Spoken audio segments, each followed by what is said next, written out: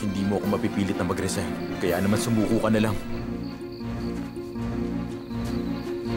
Meron siyang nahanap na lalaki. Ang kabataang ito, kasintahan niyang anak ni Master. Itong Carlos na to. Hindi ko alam kung saan lugar siya nang galing. Anong pangalan niya? Carlos ang pangalan niya. Para sa inyong bagay na yan. Ito ang ebidensya. Ang batang asawang lalaki nasa larawan ay lalaking nasa harap niyo si Carlos.